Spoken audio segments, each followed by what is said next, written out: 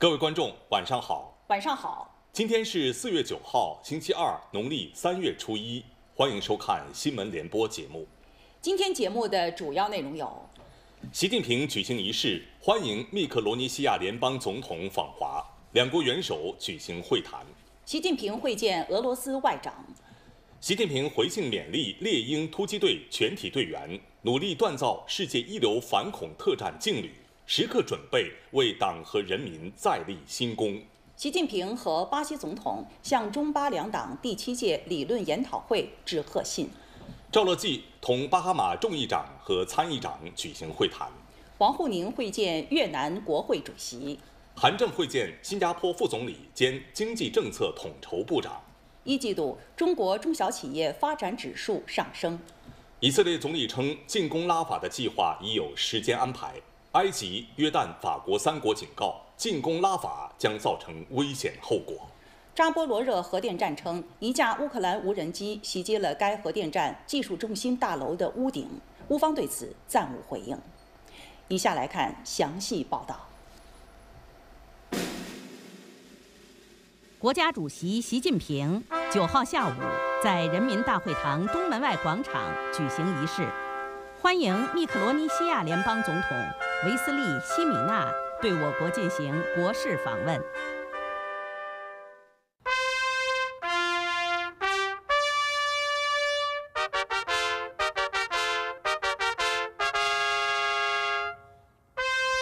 习近平主席夫人彭丽媛。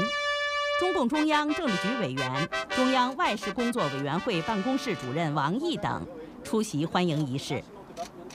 陪同西米娜访华的有总统夫人、外交部部长、资源和发展部部长等。负责农业和发展事务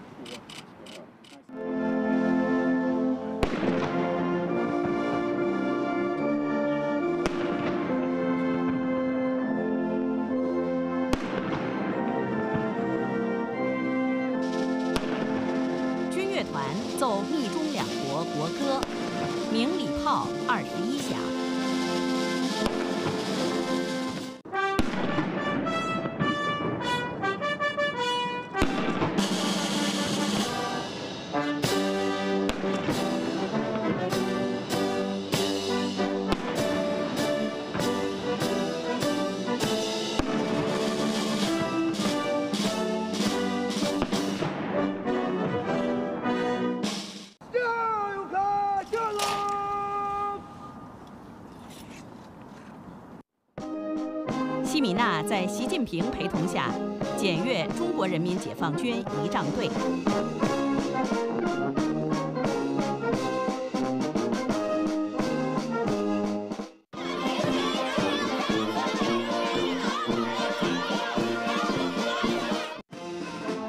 两国元首回到检阅台，观看仪仗队分列式。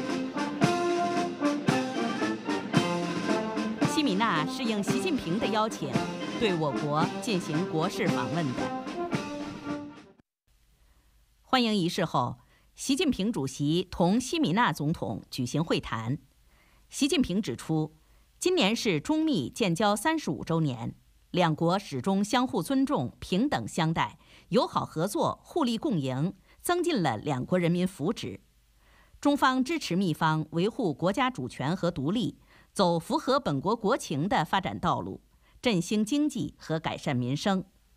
中方愿同秘方一道，以两国建交三十五周年为新起点，保持各层级交流对话，加强各领域互利合作，推动中密关系迈上新台阶。双方要坚守两国全面战略伙伴关系的政治定位，坚持互利共赢、共同发展的合作基调，加快推进共建“一带一路”合作。加强基础设施项目合作，密切文化、卫生、教育、地方等人文交流，欢迎更多密克罗尼西亚联邦青年来华深造。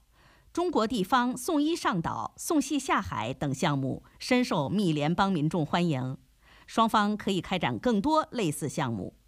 中方愿在南南合作框架内，向密方提供应对气候变化援助、开展能力建设培训。加强在联合国、太平洋岛国论坛等多边框架内协调配合，共同践行多边主义，维护公道正义。习近平指出，中国同太平洋岛国有着悠久的交往历史、深厚的人民友谊、共同的发展需要。中方发展同岛国关系是南南合作框架内的互帮互助，既不针对第三方，也不应该受到第三方干扰。中方主张，各国在发展同太平洋岛国关系时，应该坚持岛国自主，坚持发展为先，坚持开放包容。岛国有权选择符合自身国情的发展道路，有权同所有发展伙伴开展友好合作。中方愿继续为岛国发展提供力所能及的支持，开展三方或多方合作。西米纳表示，密克罗尼西亚联邦和中国建交以来，两国始终坚持相互尊重、平等相待、互不干涉内政等基本原则，双边关系取得长足发展。密克罗尼西亚联邦坚定恪守一个中国原则，认为世界上只有一个中国。中华人民共和国政府是代表全中国的唯一合法政府，台湾是中国领土不可分割的一部分，坚定支持中方在涉台、涉港、涉疆、涉藏等核心利益问题上的立场。习近平主席提出的全球发展倡议、全球安全倡议、全球文明倡议，对帮助发展中国家实现共同发展、促进世界和平稳定繁荣具有重要意义。感谢中方长期以来为密克罗尼西亚联邦等太平洋岛国经济社会发展提供宝贵帮助，愿在“一带一路”框架下深化农业、渔业、经贸、投资、旅游、数字经济等领域合作，共同应对气候变化。中国在太平洋岛国地区的合作有利于地区的和平与发展，秘方将继续积极促进岛国同中国合作。会谈后。两国元首共同见证签署关于共建“一带一路”绿色发展、农业、医疗卫生、基础设施发展合作等领域多项双边合作文件。双方将发表中华人民共和国和密克罗尼西亚联邦联合声明。当晚，习近平和彭丽媛在人民大会堂金色大厅为西米纳夫妇举行欢迎宴会。四月九号下午。国家主席习近平在北京人民大会堂会见俄罗斯外长拉夫罗夫。习近平请拉夫罗夫向普京总统转达诚挚问候。习近平指出，今年是中俄建交七十五周年，中俄两国携手走出了一条大国邻国和睦相处、合作共赢的崭新道路，造福了两国和两国人民，也为国际公平正义贡献了智慧和力量。我和普京总统一致同意继续保持密切交往，确保中俄关系始终顺利稳定向前发展。双方要以庆祝建交七十五周年和举办中俄文化年为契机，全面落实我和普京总统达成的一系列重要共识。习近平强调，中方支持俄罗斯人民走符合本国国情的发展道路。支持俄方打击恐怖主义，维护社会安全稳定。中方始终高度重视中俄关系发展，愿同俄方密切双边沟通，加强在金砖国家、上海合作组织等多边战略协作，展现更多担当，以平等、开放、透明、包容的精神，团结全球南方国家，推动全球治理体系变革，有力引领构建人类命运共同体。拉夫罗夫转达普京总统对习近平主席的亲切问候和良好祝愿，表示，在习近平主席坚强领导下，中国取得了世界瞩目的成就，为其他国家实现共同发展提供了重要机遇，俄方深感钦佩。俄对外政策的优先方针是全面巩固提升对华关系，普京总统顺利当选连任，保证了俄中关系的连续性。俄中关系建立在平等互利基础上，超越了冷战时期的同盟关系，显示了强大韧性。俄方愿同中方认真落实两国元首重要共识，加强双边和多边协作，同其他全球南方国家一道加强团结合作，为推动形成更加公平公正的国际秩序作出贡献。王毅参加上述活动。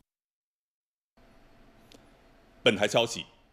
中共中央总书记、国家主席、中央军委主席习近平近日给猎鹰突击队全体队员回信，对他们予以亲切勉励。习近平在回信中表示：“我至今还清晰地记得十年前向你们授旗时的情景，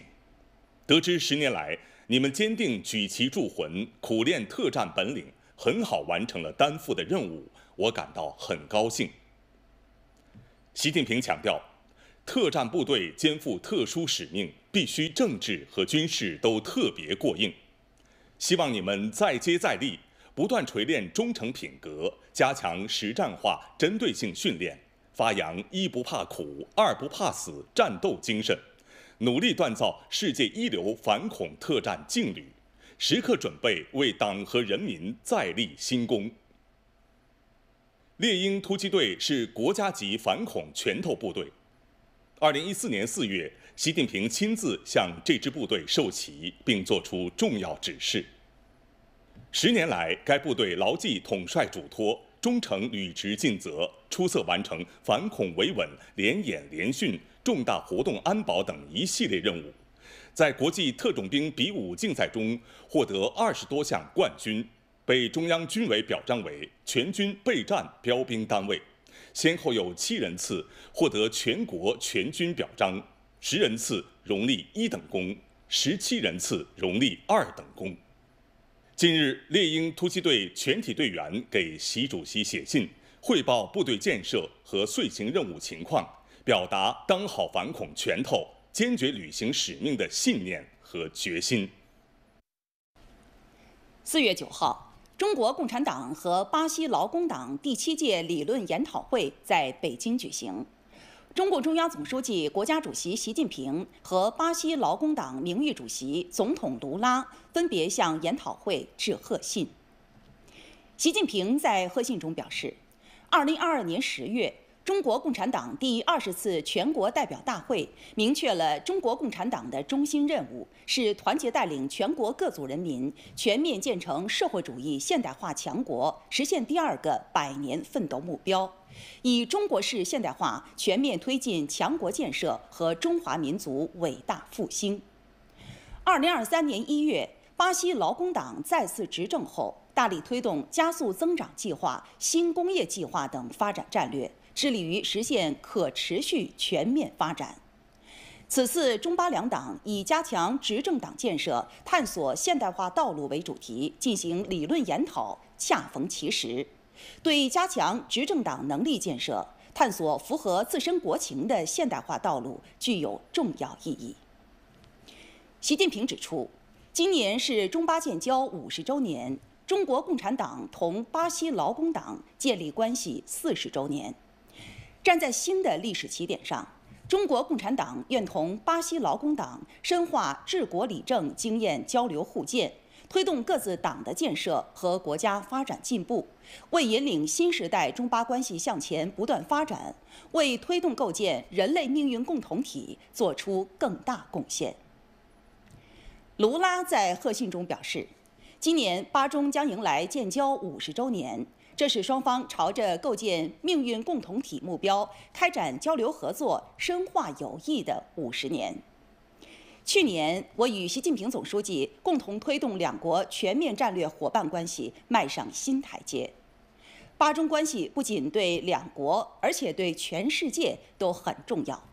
我们将通过合作巩固联合国等全球治理传统机制，同时加强七十七国集团和中国。金砖国家和中拉论坛、基础四国等南南合作关键机制。巴西劳工党与中国共产党的关系是两国关系的重要组成部分。此次劳工党高级干部考察团访华，并出席中国共产党和巴西劳工党第七届理论研讨会。目的是同中共开展治国理政经验交流，并就共同感兴趣的议题进行深入探讨和合作。我坚信，我们双方一定能找到更多汇合点和合作机遇。巴中两党、两国政府和两国人民之间的交流将更加密切和卓有成效。全国人大常委会委员长赵乐际九号下午在人民大会堂同巴哈马众议长德沃和参议长阿德利举行会谈。赵乐际表示，中巴建交二十七年来，两国关系取得长足发展，务实合作持续拓展，人文交流日益密切，在涉及彼此核心利益和重大关切问题上相互理解和支持。赵乐际指出，中方高度赞赏巴方始终坚定恪守一个中国原则，这是中巴友好关系的政治基石。欢迎巴方尽早加入共建“一带一路”朋友圈，为互利合作、共同发展开辟更广阔空间；加入三大全球倡议，携手为世界和平、稳定、发展、繁荣作出贡献；深化经贸、旅游、教育及地方合作，让中巴友好深入人心、世代相传。中方愿与巴方在应对气候变化领域加强沟通协调。赵乐际表示，欢迎巴方支持和参与将于今年九月在海南举行的第四届中国加勒比经贸合作论坛，期待巴方在加勒比地区继续发挥重要作用，愿共同推动中加全面合作伙伴关系不断迈上新台阶。赵乐际强调，立法机构交往是两国关系的重要组成部分。中国全国人大愿与巴哈马议会参众两院加强多层级、多领域友好往来，交流治国理政经验，深化友谊与合作，发挥立法机构职能作用，为两国加强贸易投资合作、扩大人员往来营造良好法治环境。赵乐际介绍了人民代表大会制度有关情况。德沃和阿德利表示，巴中相互尊重、相互理解，两国关系强劲有力。八坚定坚持一个中国原则，八参众两院愿加强同中国全国人大的交往，为促进两国经贸、人文、立法等各领域合作作出贡献。铁凝参加会谈。全国政协主席王沪宁九号在京会见越南国会主席王廷惠。王沪宁表示，去年十二月，习近平总书记、国家主席同阮富仲总书记共同宣布构建具有战略意义的中越命运共同体，确立了新时代两党两国关系新定位。中方愿同越方一道，全力落实两党最高领导人共识，推进中越命运共同体建设。中国全国政协愿同越南祖国阵线中央委员会为两党两国关系发展作出贡献。王廷惠表示，越南将中国作为对外关系的头等优先和战略选择，坚定奉行一个中国政策，祝贺中国特色社会主义事业取得巨大成就。越方愿同中方共同落实两党总书记达成的重要共识，增进政治互信，加强务实合作。越南国会愿为深化具有战略意义的越中命运共同体发挥积极作用。石泰峰、王东明、王东峰等参加会见。四月九号，国家副主席韩正在北京会见新加坡副总理兼经济政策统筹部长王瑞杰。韩正表示，在习近平主席和李显龙总理战略引领下，两国去年确立了全方位、高质量的前瞻性伙伴关系新定位，为中新关系未来发展指明了方向，中新合作前景广阔。中方愿同新方一道，继续保持各层级密切交往，用足用好双边合作机制，高质量共建“一带一路”，深化科技创新合作，开展高水平人文交流，为地区和平稳定、发展繁荣作出新贡献。王瑞杰表示，新中合作成果丰硕，互利双赢。新方高度重视发展对华关系，愿与中方继续拓展科技创新等各领域务实合作，推动双边关系不断向前发展。中国中小企业协会今天发布，一季度中国中小企业发展指数为八十九点三，比去年四季度上升零点二点。春节后，企业的开工率大幅回升，三月底完全开工的企业环比上升十五个百分点。一系列稳增长、惠民生的政策组合拳发力，企业信心得到了提振。一季度中国中小企业发展指数的各分项指数全面上升，其中市场指数和资金指数均上升零点三点，多个行业的国内订单指数、投入指数、销售价格指数上升，显示中小企业对市场的预期和融资状况改善较为明显。中国中小企业协会的调查还显示，今年以来，中小企业普遍加大了产品技术的研发投入，加速向专精特新发展。百分之七十一点二的中小微企业科技投入增加或与去年同期持平，环比上升八点一个百分点。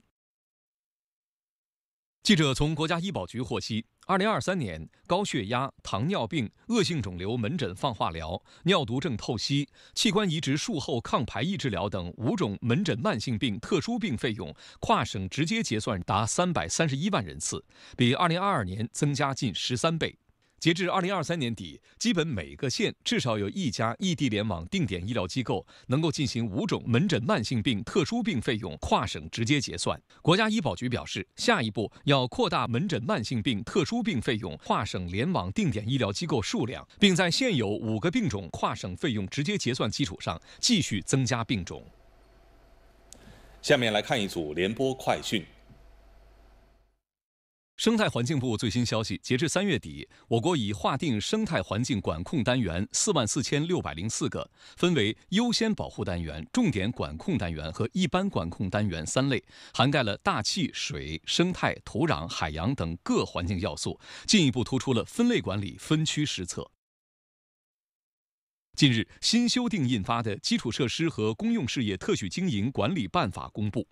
新规在促进民间投资、项目实施管理等方面做了具体制度设计，鼓励民营企业通过直接投资或者独资、控股、参股等方式积极参与特许经营项目，最大程度保障特许经营各方合法权益。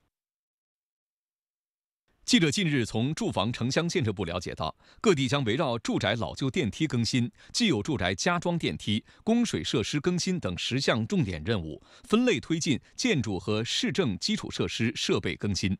对符合条件的，通过中央预算内投资等资金渠道予以适当支持。记者从教育部获悉，二零二四年高职专科拟招生专业点共六万六千八百七十个。紧跟需求变化，增设了集成电路技术、智慧健康养老管理等六千零六十八个专业点，撤销专业点五千零五十二个，对现代文秘、市场营销等供给相对过剩的六十八个专业进行了重点调整。记者今天从国务院政策例行吹风会上获悉，《中华人民共和国消费者权益保护法实施条例》将于今年七月一号实施，对预付式消费、直播带货。自动续费等新领域新问题作出了进一步细化规定，这是《中华人民共和国消费者权益保护法》的首部配套行政法规，起到了承上启下、辐射带动的作用。为将我国建设成为面向全球的国际商事仲裁新目的地。两年来，北京市、上海市、广东省、海南省开展国际商事仲裁中心建设试点工作，推进国际商事仲裁体制机制改革取得明显成效。二零二三年，四地办结涉外案件两千二百五十一件，占全国涉外案件数的百分之七十二；涉外标的额一千三百七十六亿元，占全国涉外标的总额的百分之六十九。今天，广州海关发布十八条便利措施，服务保障广交会。从提供优惠政策、简化通关手续、提升科技赋能等方面，允许展检同步，支持全流程业务线上一网通办等，确保广交会进出境人员和物资通关顺畅高效。记者今天从中国能建获悉，三百兆瓦级压气储能电站湖北应城压气储能电站示范工程并网成功，电站储能容量达一千五百兆瓦时，转换效率接近百分之七十，每年可发电约五亿千瓦时。今天，支持福建建设两岸融合发展示范区十项出入境政策措施实施满百日。厦门边检总站累计查验出入境台胞近四十六万人次，为四千二百余艘往来闽台船舶提供七乘二十四小时全天候通关服务，同比分别增长约百分之二百七十七、百分之八十二，累计为九千四百余名台胞办理快捷通关采集备案。近日，我国首次实现人工放流的长江鲟在改造的产卵场中自然产卵繁殖，为长江鲟原位栖息地修复提供了重要理论和技术支撑。长江鲟是国家一级保护动物，长江上游特有的珍稀鱼类。电视剧《城中之城》今晚起在总台央视综合频道黄金档播出。该剧聚焦国家金融改革与发展呈现了在中国金融业转型发展的时代浪潮下不同类型机构不同岗位金融人成长蜕变的故事。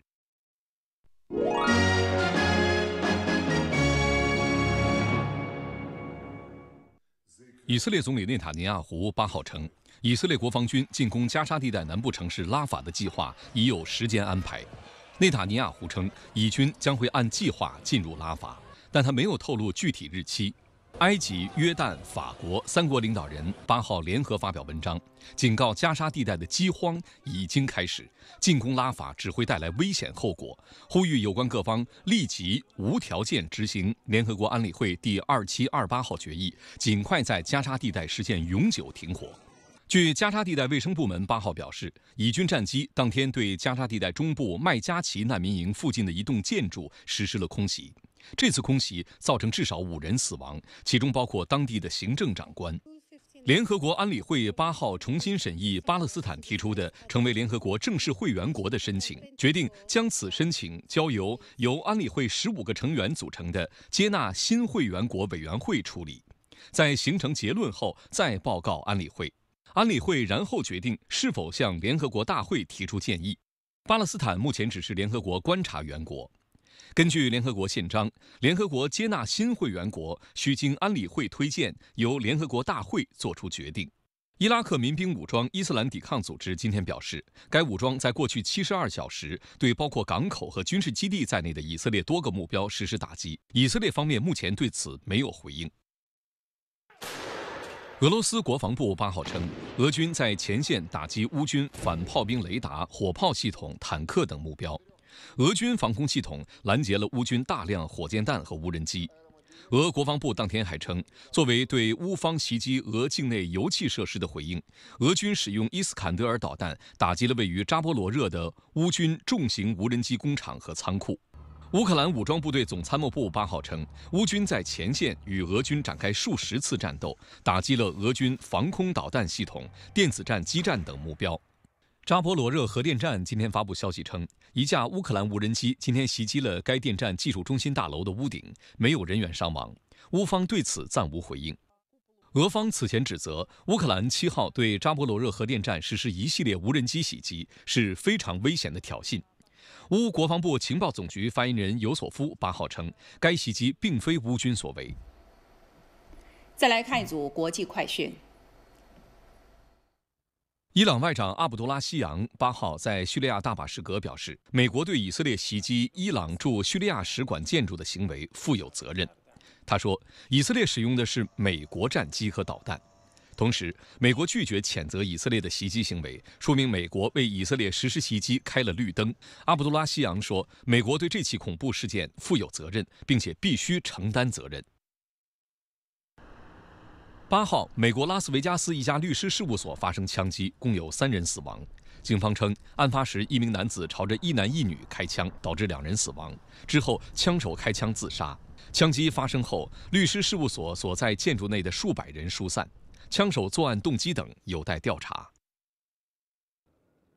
哥伦比亚首都波哥大市市长加兰八号宣布，由于厄尔尼诺现象导致当地旱情严峻，波哥大市将从四月十一号起实行用水配给措施。该措施还将适用于首都附近的十一个城市，影响至少九百万人。加兰说，波哥大百分之七十的用水供应来自周边三个水库，而这些水库的水位目前已降至四十年来的最低水平。当地时间八号，美国、墨西哥和加拿大等国部分地区民众观看到了日全食天象，全食阶段持续了四分钟左右。在北美地区全时带以外的一些地方，人们则有机会观看到了日偏食。当太阳、月球、地球处于同一直线上，且月球位于太阳和地球中间时，就可能出现日全食。今天的新闻联播播送完了，感谢收看。更多新闻资讯，请关注央视新闻客户端；更多移动视频，请下载央视频。观众朋友，再见。再见。